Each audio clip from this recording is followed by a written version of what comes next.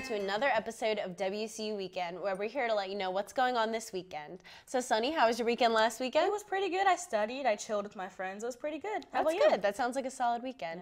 Um, I actually, it was my birthday Saturday, and I had a surprise party. I was very surprised. Um, my parents came, some friends that graduated, some friends that didn't graduate. So it was a, it was a surprise. it was Happy fun. birthday. Thank you. So we're here to make your weekend fun. So getting into your weekend news, WCU Live presents the Ensemble Español Spanish Dance Theater in a performance that shares the rich traditions of dance, music, literature, and cultures of Spain.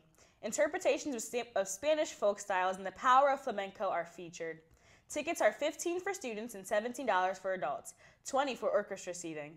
The show starts at 7:30 p.m. in the Emilie K. Asplundh Concert Hall. That sounds like something you're not going to want Yeah. to miss. I am interested. Thursday and Friday, February 25th and 26th, West Chester Borough is bringing the country's largest environmental film festival to our area for the ninth year, with proceeds equally benefiting, benefiting the Land Conservancy for Southern Chester County and Stroud Water Preserve.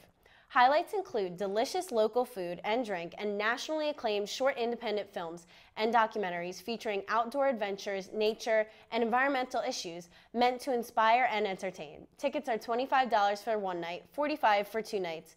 Save 5 when you go both nights, plus you won't miss a film. This is a must see for film lovers. That's so cool. I like films, so Netflix. Me too, yeah. Oh, yes, very true. West Chester University's 10th annual International Trumpet Festival will be held in the Swope Music Building on February 26th through the 27th.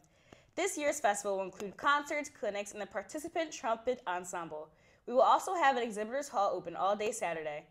Tickets are 25 for students and 30 for adults. Trumpet Nice. Festival. I've Yeah. never heard of that. Me either, I but I'm to that. interested. That. one's that sounds like a cool one. Yeah.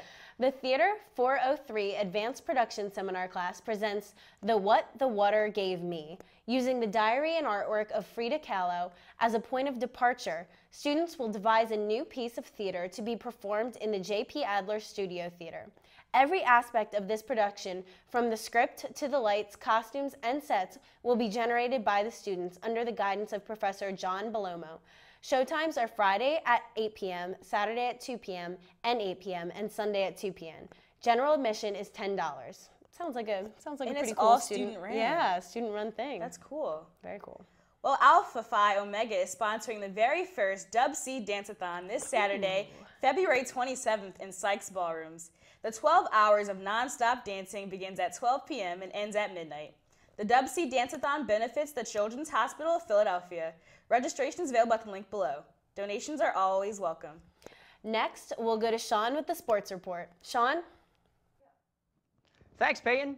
Hello and welcome back for another sports update brought to you by WCU Weekend. First off, we would like to congratulate the WCU Student Athletes of the Week. First is Viktor Polyakov.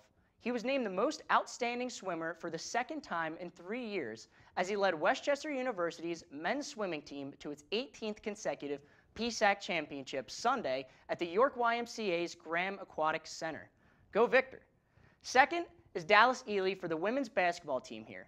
Ely scored a team high 27 points, shooting 50% from the field and 60% from the three point range as the Golden Rams fell to Millersville by 9 on Saturday. However, her 27 points bumped herself up to 1561 career points as she became the all time scoring leader in school history, surpassing Keisha Mock, who led with 1556 before Ely broke the record on Saturday. Congratulations to both Dallas and Victor. As for this weekend, WCU has plenty of sporting events taking place. This Friday, the men's baseball team plays against Philadelphia University in Colonial Heights, Virginia at 4 p.m.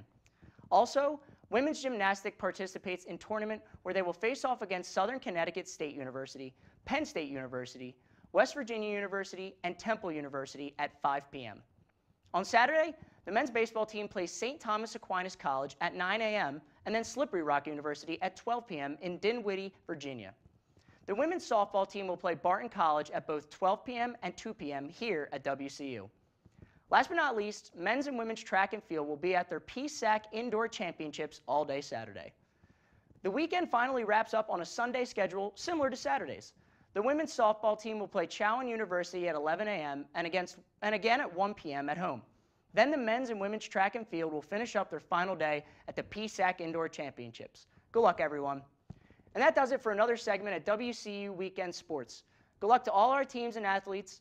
And now over to Kristen with details on this week's Sykes After Dark event. Kristen? Thanks, Sean. Bust a move this weekend at Sykes After Dark. This Friday, SAC is hosting Ram Glow, which is an EDM dance party. Laser lights and glow sticks will set the mood of the party. Ram Glow will be featuring two local DJs, Birnbaum and DJ Ironic. There will also be multiple giveaways, including a 42-inch TV. Ram Glow will be hosted in the Sykes Ballroom from 9 p.m. until 1 a.m. Be sure to come out to Sykes for the party of the semester. Now we're going to throw it to Taylor with details about the SAC movie. Taylor?